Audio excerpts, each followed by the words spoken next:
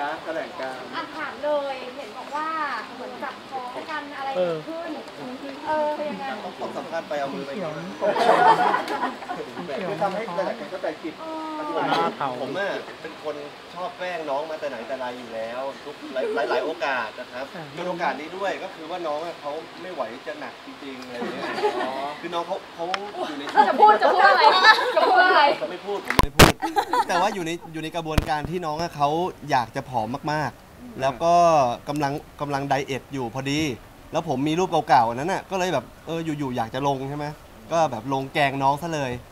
ค่ะ คือหนูก็ช่วงนั้นเป็นโควิดเมื่อเดือนก่อน แล้วก็เหมือนเราสนุกกับการกินมากค่ะ ก็คือนอนสั่งของมากินกินกินแล้วก็นอนแล้วก็กินยาแล้วก็นอน แล้วน้ำหนักมันตอนนั้นมันดีดขึ้นมาประมาณ 4 กิโล ทีนี้หนูก็เลย รู้สึกว่าเอ้ยจะเอาลงแต่ยิ่งพอจะเอาลงมันยิ่งดีดขึ้นดีดขึ้นดีดขึ้น พอดีดขึ้นแล้วตอนเนี้ยมันขึ้นมา7กิโลอะแล้วเป็นคนที่แบบว่า ทำไมเป็นคนที่ลงท้องตกใจอะแรงจัค่ะ ง ลงเอวอะเอวไม่มานะ แต่ว่าป่องออกท้องมันก็เลยดูเหมือนคนนะตอนแรกอะหนูคิดว่าใช่แน่ๆหนูว่าหนูแอบดีใจมากเลยว่าต้องต้องใช่แน่ๆเลยอย่างเงี้ย แบบมีน้องแล้วอย่างเงี้ยเหรอใช่หนูคิดว่าใช่เดือนที่แล้วหนูคิดว่าใช่เลยเพราะมันเริ่มมาแต่ ยังไงล่ะแม่ จริง แต่ว่าทีเนี้ยพอพอตรวจแล้วมันไม่เจอ ก็เลยเออหนูอ้วนจับพี่ออสเฉยๆอะจับหัวเฉยๆได้นะพี่ออสถ้าสมมติว่าน้องน้องติดขึ้นมาจริงๆอะพร้อมไหมโอเคไหมก็ต้องยินดีไปด้วยกันอยู่แล้ว เพราะว่าทางฝั่งเพื่อนออฟญาติออฟหรือว่าผู้ใหญ่ของออฟเนี่ยเขาก็บอกว่ายังไม่มีตระยังไม่มีหลานคนแรกในตระกูลเลยเขาบอกว่าถ้าเกิดว่าเอ่อเราเผลอๆมาเลยอย่างเงี้ยเฮ้ยพวกเราก็พร้อม ผู้ใหญ่ก็พูดกันแบบนั้นนะครับ ตอนนี้ก็ต้องเร่งลดน้ำหนักแบบสุดๆเลยค่ะ เพราะว่าคือที่หนูโพสต์คลิปร้องเพลงอะคือเป็นเป็นผู้จัดการหนูถ่าย ฝั่งข้างแล้วมันเห็นชัดมาก แล้วหนูก็เลยเอาวะก่อนที่คนอื่นจะแกล้งเราอะเราก็ต้องแกล้งตัวเองไปเลยให้มันสุดๆไปเลยดีกว่า เราจะได้เราจะได้รู้เราได้รู้ว่าตัวเองอ้วนมาสุดๆ คือขนาดเนี้ยที่สุดในชีวิตแล้ว จะได้ไม่ทำอีกคือสงสารตัวเองมากใส่เสื้อผ้าก็ไม่ได้ เสื้อผ้าคือต้องใส่ชุดคลุมท้องทั้งหมดเลยอะอุ้ยใส่ชุดคุมท้องเลยเหรอ ก็ชุดโป่จริงงๆๆจริอะงๆค่ะหนูก็เรียกชุดคุมท้อง ไปเที่ยวพัทยากับผมมาเนี่ยก็มีแต่คนมองแบบนั้น เพราะว่าชุดเอ่อชุดแบบที่มัน ที่มันแบบติดตัวอะไรแนบเนื้ออย่างเงี้ยใส่ไม่ได้เลย ก็จะเตรียมไปแต่ชุดที่มันแบบพลิ้วทะเลรับลม เหมือนคนท้องเดินเหมือนเดินกับคนท้องอะ มีคนเข้ามาแสดงความยินดีเยอะไหมช่วงนั้นอะเยอะมากค่ะรูปรูปนั้นโอ้ยโอ้หยแล้วลายแล้วยิ่งรูปที่ผมเดี๋ยวจะขอเล่าเรื่องที่โพสต์รูปนี้รูปนี้มาจากไหน มีอยู่วันหนึ่งที่เราไปถ่าย MV ด้วยกันนะครับ เพลงนิยายรัก แล้วชุดที่เราใส่เนี่ยก็จะเป็นชุดแบบสีขาวสีแบบสบายๆสีรุ้งอะไรอย่างเงี้ย แล้วชุดที่น้องใส่อะมันค่อนข้างที่จะแนบเนื้อนิดนึง แล้วพอเราถ่ายกันเสร็จปุ๊บผมเห็นบางมุมเฮ้ยเหมือนคนท้องว่ะก็เลยไปขอถ่ายรูปแบบอย่างเงี้ยทำเป็นจูบท้องบ้างอะไรบ้าง ก็เลยถึงเวลาเอามาลง ทีนี้เพื่อนดารา มาโพสต์แสดงความยินดีด้วยคุณพ่อป้าใหม่ป้ายแดงเออผมรู้สึกเกรงใจทันทีเลยหุยเขินแทนเลยอะมาเรียกเราคุณพ่อซะแล้วเออจริงๆแล้วใจเราอยากจะมีเลยไหมครับ ตอนนี้อะครับ ยังยัง ยังค่ะ เพราะว่า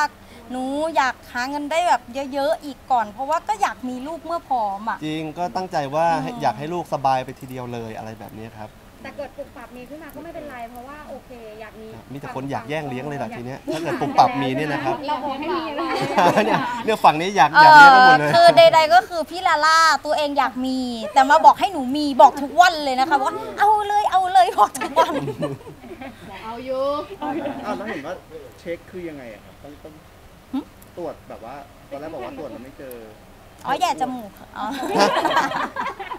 นี่วันนี้ผมก็พกมาเอามาให้แสดงพี่ๆตรวจดูต่อหน้าเลย ตัวเราเองหรือว่าสงสัยค่ะ เพราะว่าไม่เคยอ้วนขนาดนี้แล้วออกท้องน้อย ออกออกแต่ท้องชั้นล่างท้องชั้นบนไม่ออกแล้วเอวก็ไม่ออกปกติคนอ้วนก็จะออกอย่างนี้ใช่ไหมคะ อ่า แล้วก็ออกหมดไง แต่หนูออกแต่ตรงนี้ จ้า ใช่แล้วก็คืมันก็เหมือนคนยืนท้อยังนไม่ได้ท้องแค่ไม่ได้ถ่าย ใช่ แต่ว่าวินาทีนั้นน่ะที่ไม่ได้วินาทีนั้นที่เอาแบบชุดตรวจไปตรวจอะอืม ใจแบบตุ้มๆต่อมๆไหมแบบลุ้นไหมว่าแบบเออเฮ้ยมาไม่มา ก็ลุ้นอยู่นะคะ แต่ก็คิดว่าไม่ใช่ตัวเองกินเยอะเอง แต่ว่ามันก็สงสัย แต่จริงๆประจำเดือนไม่ได้ขาดเลย แต่แค่รู้สึกว่า รู้สึกว่าอ้วนเยอะไปเฉยๆค่ะ ก็เลยลองตรวจดู ล่าสุดเหมือนโพสต์ขอบคุณเขาที่เข้ามาในชีวิตคือ บอกว่าที่ผ่านมาไม่เคยมีใครเข้าใจเราเท่านี้เลยเหรอมันยังไงอะคือที่ผ่านมาเราอาจจะยังเด็กมาก ๆ แล้วก็ชีวิตเราอาจจะยังไม่ได้เจอปัญหาที่ลุมเราเข้ามาเยอะขนาดนี้ พอมาปีสองปีเนี้ยทุกคนก็เห็นว่าอะอย่างล่าสุดก็มีเรื่องมีเรื่องเข้ามาเยอะมากๆ แล้วซึ่งชีวิตครอบครัวของเราอะคือมันมันเหนื่อยไม่ว่าจะเป็นเรื่องของการเงินเรื่องของปัญหาต่างๆ แต่ว่าเขาคือคนที่ อยู่กับเราในช่วงที่เรามีปัญหาหนักมาก ๆ คือเขาไม่เขาไม่เคยที่จะปล่อยมือหนูเลยหนูก็เลยรู้สึกแบบหนูไม่รู้จะขอบคุณยังไงอะคือคำว่าขอบคุณมันมันน้อยมันน้อยไปสำหรับสำหรับที่เขาทำให้อย่างเงี้ยค่ะผมคนนี้ใช่พ่อของลูกไหมคะ ตอนพี่คุณพ่อขนาดนี้แล้วเนี่ยตอนนี้ก็ตอนนี้ไม่มีใครเรียกลุงแล้วเรียกพ่ออย่างเดียวดูดูกันไปเรื่อยๆค่ะ แต่ว่าตอนนี้คือไม่ได้คิดจะมองหาใครแล้ว แล้วก็ไม่ได้คิดว่าจะอยากมีใครเข้ามาอีกแล้ว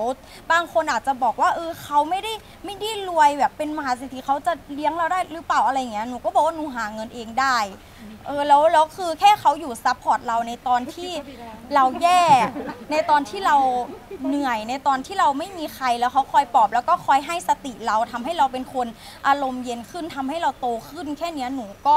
รู้สึกแบบขอบคุณเขาในทุกๆวันอยู่แล้วค่ะครับคือบางอย่างที่น้องเขามองว่าเป็นปัญหา ผมจะคอยบอกน้องตลอดว่า ถ้าเราไม่คิดว่ามันเป็นปัญหา มันก็จะไม่เป็น หรือว่าถ้าเกิดเราเราเวลาเราไปคุยกับใครไม่พอใจเงี้ย ต้องบอกว่าบอกตัวเองอยู่ตลอดเวลาว่าต้องไม่เป็นเหยื่ออืมแล้วเราก็จะรู้สึกว่าเราเราไม่มีปัญหาอะไรกับเขานี่ พี่ออฟรู้ไหมว่าเขาทราบซึ้งเราขนาดเนี้ยว่าแบบเออสิ่งที่เราทำให้เขามันแบบมากมากเหลือเกินอะไรอย่างเลยผมผมก็ทราบดีเขาก็บอกอยู่ใช่ไหมครับเขาก็ขอบคุณอยู่เรื่อยๆครับผมออฟก็ด้วยความยินดีแหละนะครับ อยากจะเห็นเขามีความสุขอะ คือมันที่หนูแบบซึ้งใจมากๆ คือหนูรู้สึกว่าใครจะมาทนกับ กับชีวิตแบบนี้ ใครจะมาทนอยู่กับผู้หญิงที่มีชีวิตแบบนี้อะไรเงี้ยมันมันก็เลยรู้สึกว่าบางทีหนูก็บอกเขานะคะว่าถ้าเขามีคนเจอคนที่ดีกว่า หรือถ้าเขาไม่ไหวอย่างเงี้ยก็คือ ไปเจอคนที่ดีกว่าหนูได้เลย เพราะว่าหนูอะคือชีวิตหนูเป็นอย่างเงี้ยรับได้หรือเปล่าอดทนไหวหรอ หนูพูดตลอดเลย แต่เขาก็ยังอยู่สามหกแล้วอืมไม่เจอใครแล้วพี่ออฟทนไหวเนาะ ทนไหว ไม่ได้เรียกว่าทน ผมเป็นคนที่ไม่เคยไม่คิดว่ามองอะไรแล้วจะเป็นปัญหาเลยอะฮะก็จะมองแล้วมีแต่ทางออกเสมอเสมอ ก็เลยจะคอยที่จะถ่ายทอดให้น้องอยู่ว่า เราเราอย่าไปคิดแบบนี้ เขาอาจจะแบบนั้นแบบนี้ก็ได้ จะให้ให้น้องพยายามเป็นคนคิดดีคิดบวก เยอะๆอะไรแบบนี้ครับ